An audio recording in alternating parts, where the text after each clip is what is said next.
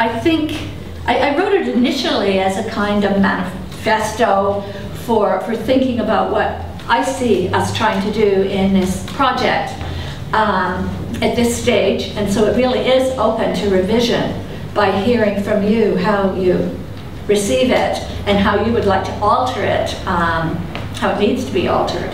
So we had discussions over five or six years in the Globalization and Autonomy group where we said, well, people said, well, isn't autonomy the same as agency? And we worked through the issue that no, um, certainly in, in, in, Western cultures, autonomy is linked to agency. Uh, there is the assumption you do not have agency if you do not have autonomy. Uh, but there are many groups that we might categorize as human who are not seen as um, capable of exercising autonomy. And historically, those groups have been not just indigenous people, children, and the disabled, but also women.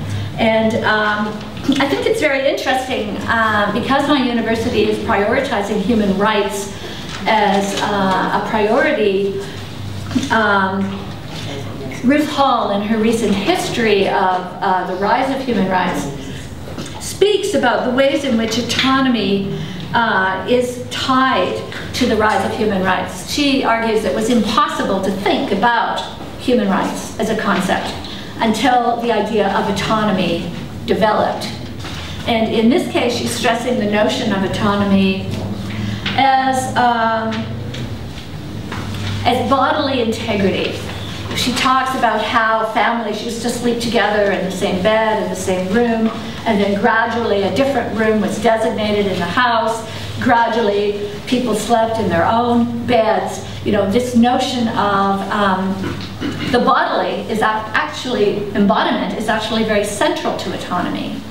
Uh, autonomy, of course, is also tied um, to the um, um to the notion of uh, self-regulation. Uh, if you think of autonomy as the right to give laws to oneself, um, our team initially thought of that in terms of the nation state, in terms of democratic practice. Increasingly, though, they began to think about how that's tied to notions of the rise of the individual and to the, the individual who can regulate himself or herself, who can internalize all that societal policing and societal regulation. And of course, education plays an important, crucial role in regulation, regulating people's bodies, people's behaviors, disciplining the body. But that regulation is often described as freedom. As definições de vírus foram atualizadas. As emancipation. Forget. Um, how can I stop this? No, it's not going just to, to, just to give us any message anymore. Uh, okay. Just a day. okay, and so I, um, in terms of some of the debates we've had here, in our team we had a group of people working um, with indigenous peoples. And in the reading that I've done, there's two, two different arguments made about autonomy and uh, indigenous governance. One is that autonomy is alien to indigenous thinking, to indigenous culture, sorry. Um, the other is that autonomy is at the heart of indigenous ontology and indigenous ways of understanding the world. Uh, the literature gives us both of these arguments, both of these positions. Um, and of course, it depends on how one defines autonomy. Uh, so it's not a singular concept, uh, but I think it is worth teasing through. I think it is worth thinking through how, how it operates. And uh, because autonomy has traditionally been denied to women and continues to be denied to women, Hall's book, I think, is very interesting because she talks about the ability to imagine uh, autonomy for different groups. And she, she suggests that woman is the exact, the extreme limit. It's hardest for the majority to imagine autonomy for women. Um, and so to me, this, this makes autonomy a very, very important personal uh, question that needs to be worked through. Um, so there's a number, this paper is dense, And there's a number of places in the paper where I say things I'm not quite sure of. Um, there's also sentences that I could unpack into whole other articles, and I would like to unpack, uh, and, and, sometimes where I have unpacked them in, into other articles. So I'm interested in seeing where you think there's a need for unpacking, where you think there's a, a problem or a, or a question, or where you know, I need to bring in particular arguments by other people. You know, I've identified many places in the paper for my, myself that are like that.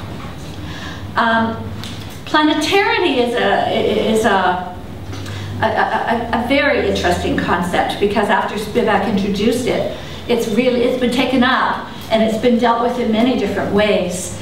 And uh, I have been asked um, just during the break about planetarity. Um, and of course, Spivak uses it uh, as an alternative to globalization. And she understands globalization as the financialization of the globe, as a neoliberal, um, homogenizing uh, view of the world and its peoples, um, something to be opposed, something that um, enables, uh, argues for a freer flow of, of, of goods and finance around the world while setting up borders to prevent people from moving across the world and making it harder for ideas to, to move uh, across the world. It's, a, it's connected to a privileging of the English language and of um, the view of the world that goes along with that in dominant hegemonic forms of thinking. So planetarity she argues, is best imagined from the pre-capitalist cultures of the world. And when she says that, she's thinking of particular pre-capitalist cultures of the world. Um, initially tribals in the north of India, in Bengal, um, and then recently she's been working in China with indigenous peoples as well.